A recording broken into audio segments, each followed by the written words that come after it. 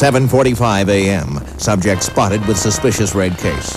7.55 a.m. Subject observed using Warn portable winch to stretch chain link fence. Load log onto trailer.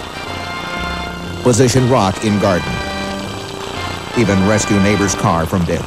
12.30 p.m. Subject exchanges winch case for golf bag. Determination. The portable winch from Warn, Handy, versatile, indispensable. Case closed.